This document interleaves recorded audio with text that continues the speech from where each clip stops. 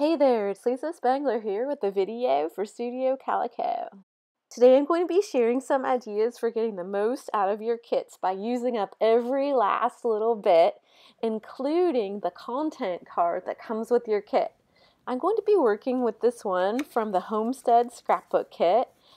As you can see, it has so much great info on it, including suggestions for color theory ink pairings. But you can go ahead and cut it up and use the other side.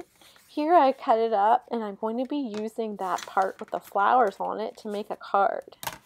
So I went ahead and trimmed a base card using craft paper and then I gave it a really nice score at the top.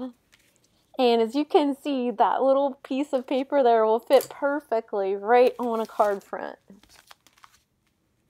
I thought I would pair this with some of these die cut shapes by Life Love Paper that also come in the scrapbook kit. And I love this little banner piece and I'm thinking that this thankful sentiment will fit perfectly right on there. I think that is going to work. And I'm going to use my MISTI tool to help me stamp this on there so I don't mess it up. If you've never used a MISTI before, you just put the piece of paper that you want to stamp on on the platform there. And then you put your stamp where you want it. I think that looks pretty good right there. And then, since the base of the platform is magnetic, you can use magnets to hold your paper in place. Then when you close the lid, the stamp will stick to the lid and you can ink it up and stamp it and it will go exactly where you want it.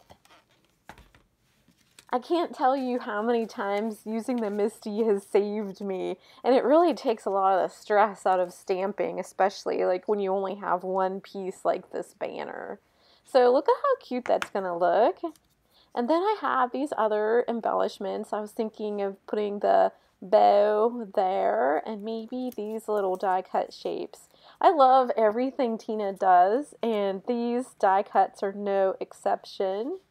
Maybe that one can go there. I'm not exactly sure yet, but I thought I would add some leaves also from the stamp subscription.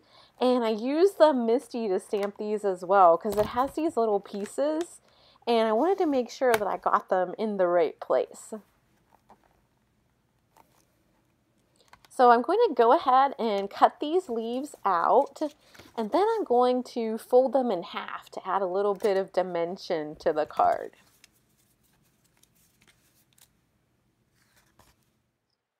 So now it's assembly time. So here's that little piece that we cut from the content card. And I think I'm going to put this on with some foam tape to add extra dimension. I go through a lot of foam tape around here it's just an easy way to like really make your cards pop. So that'll go right on the front there. Just like that. Next I'll add the thankful banner also with foam tape. And then I can finish up the card by adding the leaves and the other little embellishments.